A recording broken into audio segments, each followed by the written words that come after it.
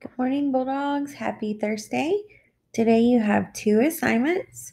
One is a warm up, like we've been doing all week, and the other is spelling sentences with related words. So, first, the warm up. Forms looks a little bit different attached now. It did an update on Teams. Same thing, you just click on it and it'll pull it up. Right? And here are your questions. What change, if any, should be made in sentence 15? My sister and I told our mom that we want a couple of bunnies for Christmas. Change I to me, change capital Christmas to lowercase Christmas, or change bunnies with an apostrophe S to bunnies IES. So when you figure out the answer to that, you'll hit submit and turn it in. Excuse me, just like you've been doing.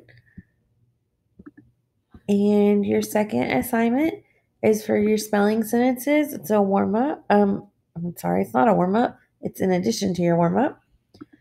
The screenshot has your 20 spelling words in it.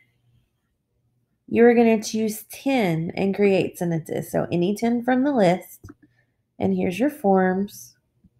And it just says choose 10 of your spelling words and use them in a sentence. Example, I have a meeting with my math tutor after school. You don't have to do pairs. You don't have to do five of these and five of that. You can use any 10 out of the 20 words. It doesn't matter to me which ones you use. Make sure in your sentences you're typing complete sentences with capital letters and punctuation. And when you finish, that's all you have for today.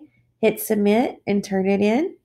I will be returning um, the questions over your benchmark and letting you know how you did on those. Um, I will probably email them to you because it's easier because it's already downloaded uh, by Friday.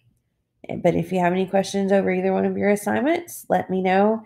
If you did not do your homework Monday or Tuesday, make sure you go back in and take care of that so I can get it in the grade book because grades are due Friday for your progress report.